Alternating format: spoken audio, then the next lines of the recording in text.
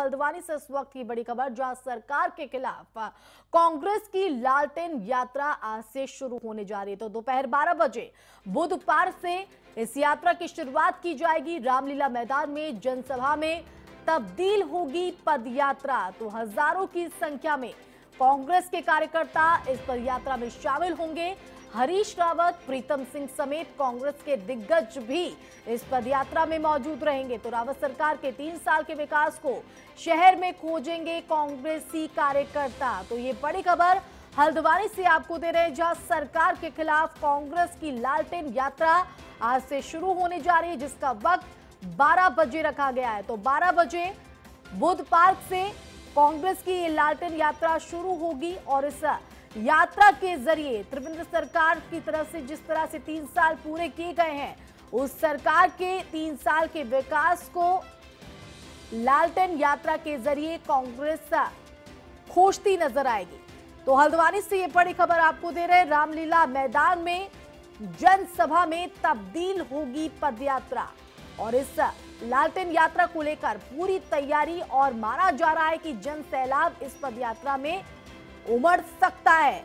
तो हज़ारों की संख्या में कांग्रेस कार्यकर्ता भी शामिल होंगे। ना सिर्फ़ कांग्रेस कार्यकर्ता, बल्कि कांग्रेस के दिग्गज नेता भी इस यात्रा में मौजूद रहेंगे। तो हरीश रावत, प्रीतम सिंह समेत कांग्रेस के दिग्गज पदयात्रा में होंगे शामिल। तो रावत सरकार के तीन साल के विकास को शहर में खोजेगी कांग्रेस। तो ये बड़ी खबर आपको हम दे रहे हैं। हल्द्वानी से जहाँ सरकार के खिलाफ आज से कांग्रेस की लालटेन यात्रा शुरू होने जा रही है। तो 12 बजे ये लालटेन यात्रा बुध पार्क से शुरू होगी, जिसमें हज़ारों की संख्या में कांग्रेस के कार्यकर्ता शामिल होंगे।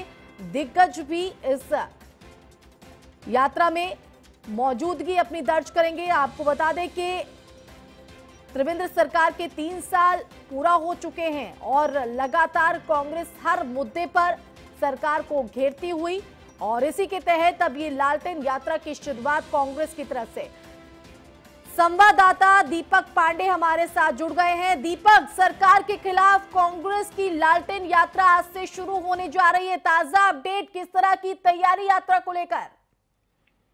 जी देखिए, लगातार कांग्रेस जो है अब सरकार पर हमलावर हो रही है। जैसे ही सरकार के तीन साल पूरे हुए हैं तो अब कांग्रेस को ये सरकार को घेरने का मौका मिल गया है। लिहाजा इसकी शुरुआत कुमाऊं के प्रवेश द्वार हल्द्वानी से आज होगी जहाँ हज़ारों की संख्या में कांग्रेसी जो है लालटेन यात्रा निकालेंगे। और कांग्रेस का ये कहना है कि इन तीन सालों में विकास की एक ईट भी भाजपा द्वारा नहीं लगाई गई है।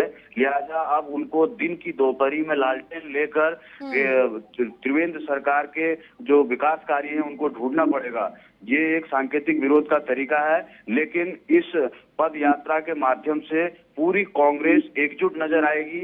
ऐसा पहली बार होगा जब लंबे समय के अंतराल के बाद जब प्रदेश प्रभारी अनुग्रह नारायण सिंह के नेतृत्व में बिल्कुल दिनेश एकजुटता कितनी दिखाई देती है यात्रा में? ये तो देखना होगा लेकिन आज से जिस तरह से इस यात्रा की शुरुआत होने जा रही है दिनेश तो कौन कौन से दिग्गज नेता इस यात्रा में दिखाई देंगे कांग्रेस की तरफ़ से? जी देखिए लगभग कांग्रेस के सभी नेता इस कार्यक्रम में शिरकत करेंगे क्योंकि देर रात ही आ, सारे नेता हल्द्वानी पहुँच चुके हैं। अगर बात की जाए तो प्रदेश अध्यक्ष प्रीतम सिंह कल देर शाम ही पहुँच चुके थे। इसके साथ साथ उनकी पूरी नई पीसीसी जिसकी हाल ही में घोषणा हुई है वो सभी कार्यकर्ता कुमाऊं क्षेत्र के सभी विधायक पूर्व विधायक और वर्तमान विधायक के साथ साथ पूर्व मुख्यमंत्री हरीश रावत और प्रदेश प्रभारी अनुग्रह नारायण सिंह भी यहाँ पहुँच चुके हैं।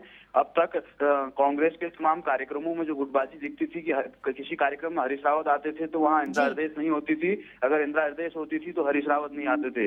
लेकिन ये पहला मौका है जब सारे नेता एकजुट हो गए हैं और ये माना जा रहा है कि मिशन 2022 का आगाज़ इसी लालटेन यात्रा के साथ कांग्रेस शुरू करने जा रही है। कांग्रेस ने जो वर्तमान सरकार के तीन साल के कार्यकालों कार्यकाल में जन विरोधी नीतियों का जो चिट्ठा है उसको भी जारी किया है और जन जन तक जो जो इनके कार्यकर्ता है उनको जो कांग्रेस के कार्यकाल भाजपा के कार्यकाल में जो जन विरोधी नीतियाँ हैं महँगाई बढ़ गई है दिनेश इस यात्रा को लेकर आप नज़र बनाए रखिए फ़िलहाल शुक्रिया जुड़ने के लिए।